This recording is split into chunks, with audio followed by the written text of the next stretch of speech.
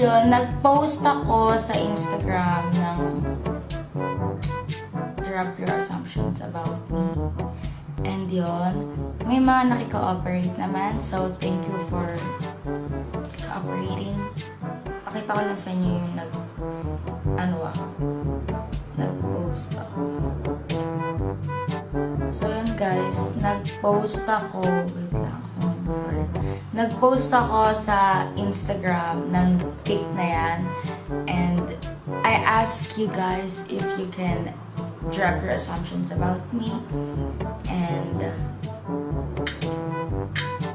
yeah, may mga nag-ano naman, nag-drop na assumptions sila. Hindi super dami, hindi katulad ng mga ibang YouTuber na drop na assumptions sa kanila.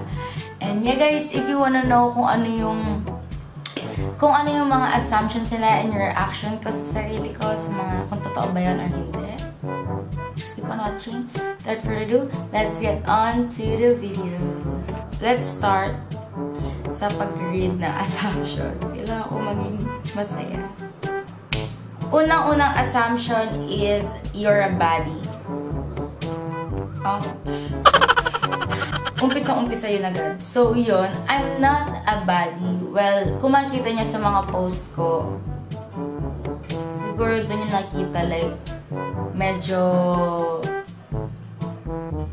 body yung mga makeup ko or minsan yung look ko or sadyang yung itsura ko lang talaga mukhang mataray or mukhang salbahe or mukhang hindi mabait. Well, hindi po ako body. Mabait ako kung kung kakilala niyo yung mga kung makikilala niyo ako personal super bait ko, super kalog, super kulit at yun, clingy kala ko maarte oh my God. Grabe. Hindi naman ako maarte. Hindi ako maarte. Hindi ako maarte. Okay. Hindi ako maarte. Hala, ewan ko. Hindi ako maarte. Siguro nagiging maarte lang ako if may dalaw ako. I don't know. Pero hindi talaga ako maarte as a person. Hindi ko ako maarte. Sana hindi isipin na maarte ako kasi hindi. Uminom na ng alak. Well, nakainom na ako. Hindi ko alam. Hindi ko alam. Nakainom na ako ng alak ko. Pero hindi totaling walwal. Okay? Hindi totaling walwal. Siguro nakainom ako accidentally or minsan na sinusubukan ko pag may occasion dito sa amin. Ganun lang. Ganun lang. Nagka-jowa na. Yes, nagka-jowa na ako. Isa. And that's really. Well, pag first time talaga magka-jowa, that is the stage where you think it's love, but it is not. It's just, I don't know. Gusto mo na subukan, it's your first time, kaya you think it's love, but it's not love. Okay? Nagka-jowa na ako, yes. Tama. Ex.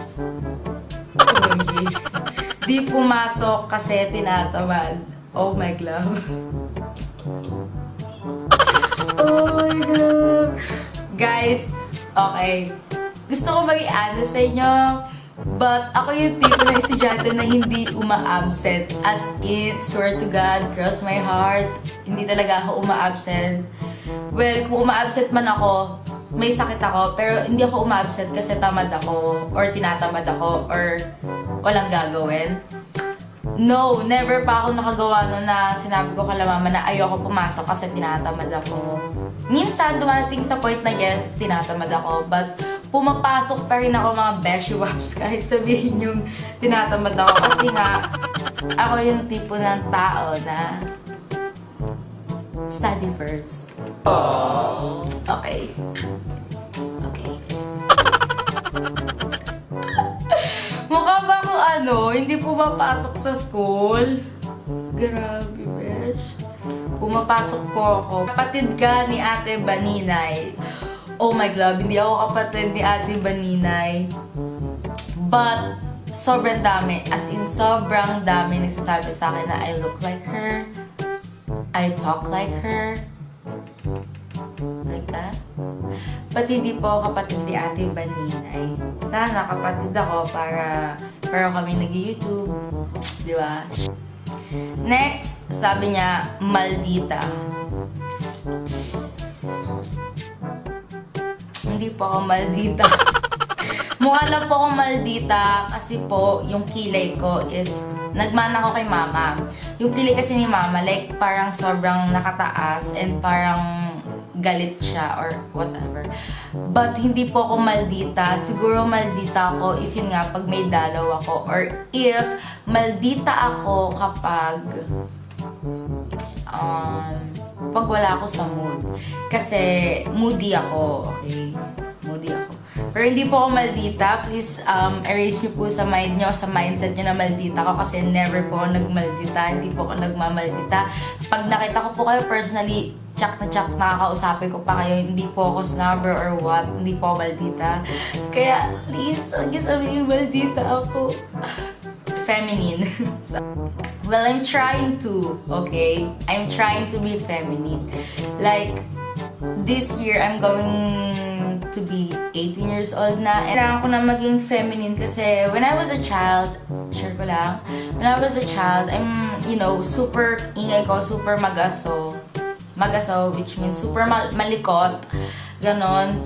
Feeling ko kasi, ano, hindi ako uma-act as a girl. Hindi ako uma-act na babaeng babae. I'm acting like mm, masiga, mayabang, ganyan-ganyan. So, yun. I'm trying to be feminine. Okay, girl? Yun. So, yun. True yun. Nagpapaka-feminine ako. Close sa kapatid. Yes, I think. Yes, I'm close sa mga kapatid ko. Sabi niya dito, daming crush. yes, madami akong crush. It doesn't mean na malandi ako, okay? Crush, it means like paghahanga. Inahangaan mo yung isang tao. Like, magaling siya sa ganito, magaling siya sa ganyan. Yun, doon ako humahanga. Wala namang masama doon, tsaka hindi ko inaagaw.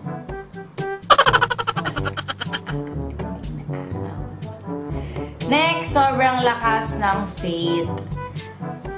Well, for me, faith is very important kasi alam mo yon yung tipo na yung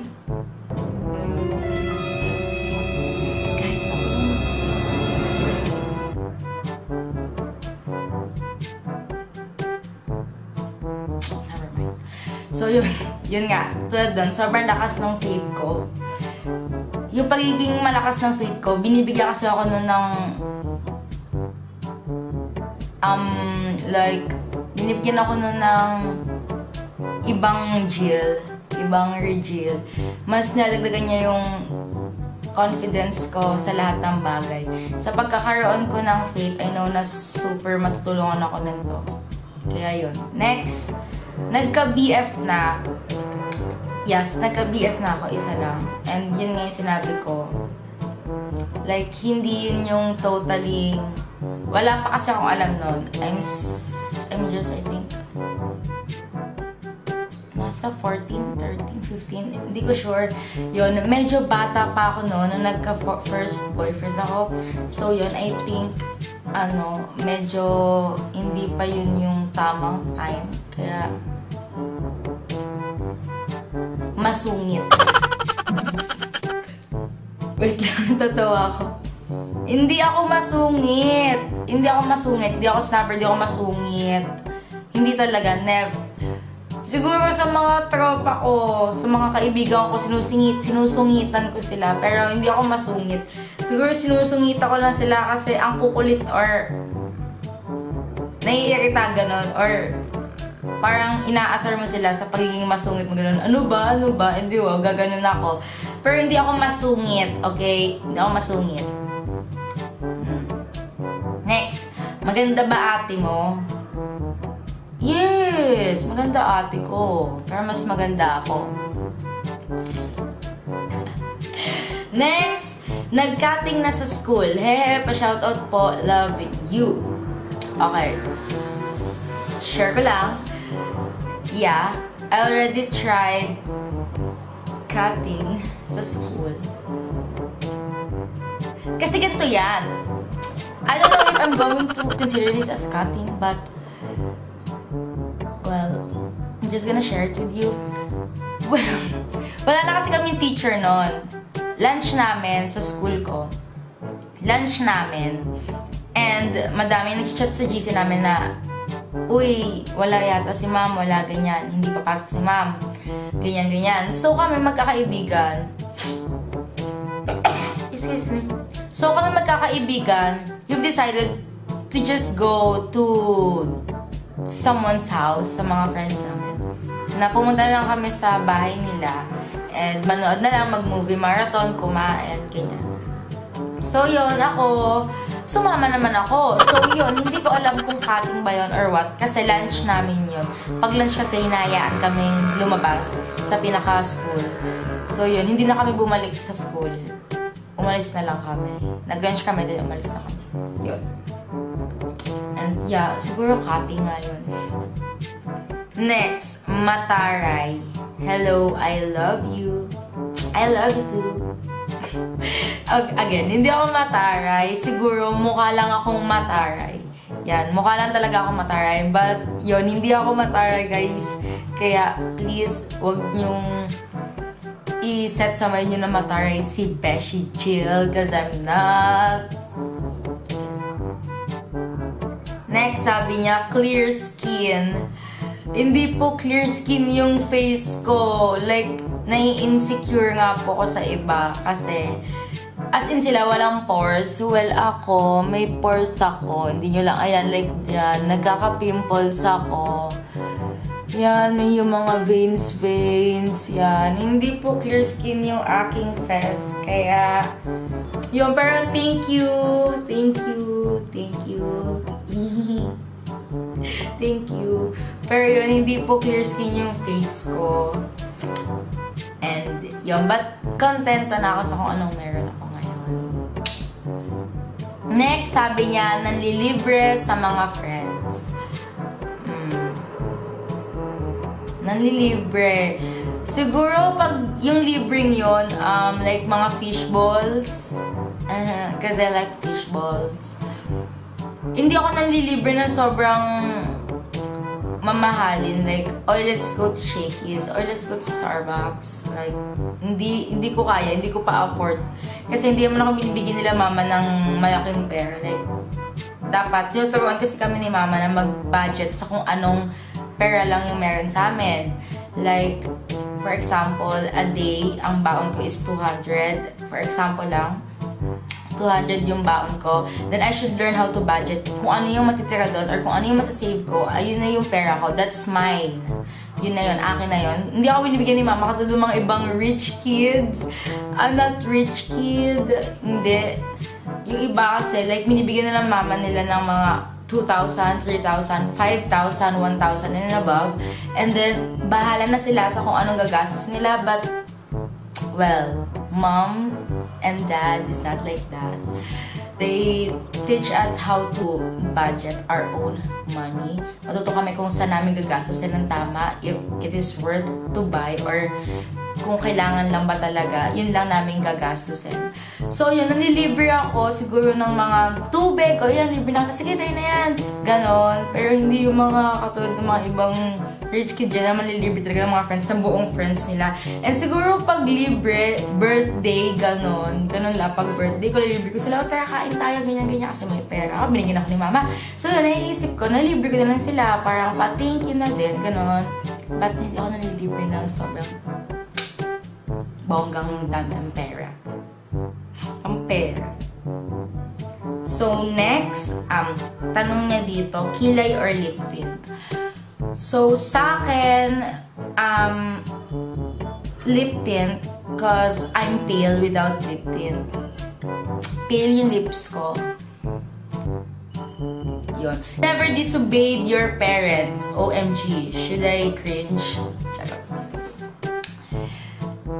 Siguro, every child already disobeyed their parents. No one is perfect. And I think, isa ako doon. Na-disobey ko na yung parents ko. And yun, medyo masakit. Na-disobey. Sorry, na-disobey ko na yung parents ko. Hindi ko na lang share kung ano. Kasi medyo, you know. Mm. Next, you love K-pop. As of now, I'm listening to Icon and Twice. Blackpink. Icon Twice and Blackpink. Yun yung pinakikinggan ko as of now. Well, I love them, but I don't understand what they're saying. So, but I love how they, I love how they dance. I love how they do their music video and yung mga iba't ibang challenge sa kanila. Yun kasi yung mga pinapanood ko sa YouTube. Katulad na lang nung Blackpink, sumayaw sila, tapos ginaya nila yung mga dance step ng ibang K-pop group. So yun, natutuwa ako sa mga ganon.